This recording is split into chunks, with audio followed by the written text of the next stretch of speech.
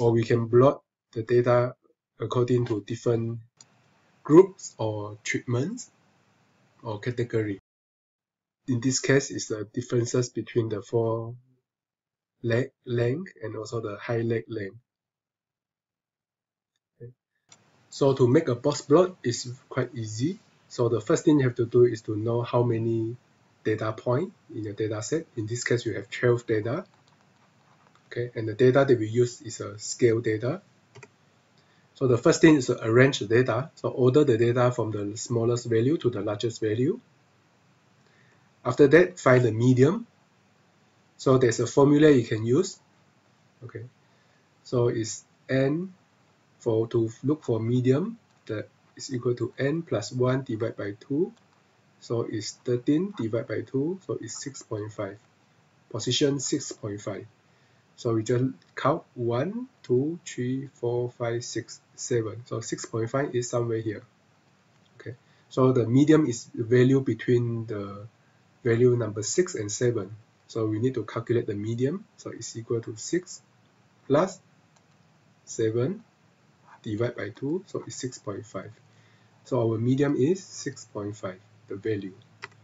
Then after that, we need to look for the first quartile and the third quartile. For the first quartile, we can know we already see that the the medium. So in this case, is here. Okay.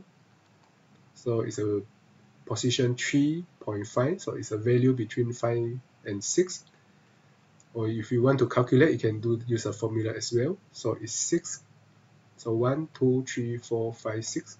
6 plus 1 divided by 2, so it's 3.5. So it's here. So we need to calculate the first quartile. In this case is 5 plus 6 divided by 2 is 5.5. So our first quartile is 5.5, the value. Then for the third quartile, we can do the same thing. So we have the same amount of data point here. So it's 6, 1, 2, 3, 4, 5, 6. So it's 6 plus 1 divided by 2, so it's 3.5. So the third quartile value is at the position 3.5. And then we need to calculate the value of the third quartile. So it's 7 plus 7 divided by 2. So it's 14 divided by 2. So it's the value is 7. So after you have done this, you need to draw a broad line. So you need to make a line, an axis that with a range of uh, all value. So in this case, our smallest value is 5, largest is 8. So we just put all the value here. 8, 7, 6, 5, 4. Okay. After that, we need to mark the first and the third quartile and also the medium. So our medium is 6.5. So usually the median line is a bit longer. And after that, we have the first quartile, 5.5, which is somewhere here. You also have a third quartile, which is 7, here. Okay. After we have marked them, then we need to make a box. Okay, we already finished half of this box plot. So the next step is to find the interquartile range. So it's a third quartile, so it's equal to 7. So this is the third quartile minus the first quartile, 5.5 is equal to 1.5. Okay. Then we need to identify the value that fall below the value of the 1.5 interquartile range from the first quartile. Okay, so it's smallest than the this value, and also the value that's largest. Okay, is greater uh, than the third quartile in 1.5 interquartile range. So we need to calculate the interquartile range. So for interquartile range is 1.5 multiplied by the value. So the value just now is also 1.5. So in this case, our value is first quartile minus 1.5 multiplied by 1.5 is 2.25.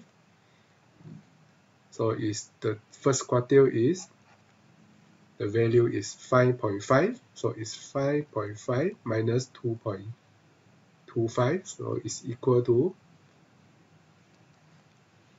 3.25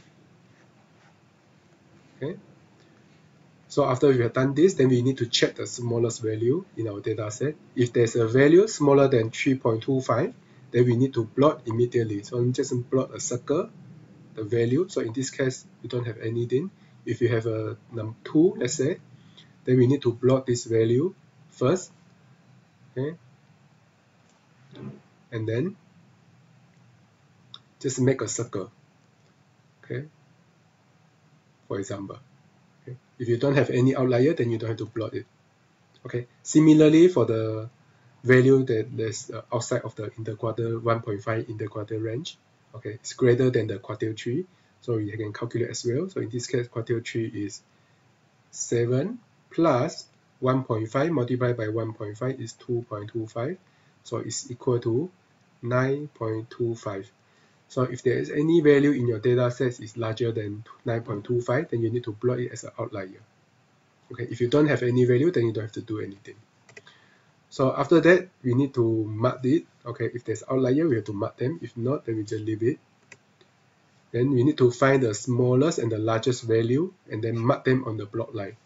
So this need to be the largest and the smallest value after we exclude the outlier. So if you have a number 2 here, so the smallest value that you need to plot uh, along uh, in the box plot is not the number 2 because you already mark it as an outlier and we should plot the 5 okay if there's no outlier then the smallest value is what you see in your data set so in this case is 5 so just mark it. And the largest is 8 if there's a value that's larger than the 1.5 interquartile, interquartile range from the third quartile, which you have marked them, then you need to seek for the second largest value. So in this case, we don't have an outlier, so we need to plot the largest value, which is 8. So I just mark it, and then just make a line to connect the box. Okay, so this is how we make a box plot.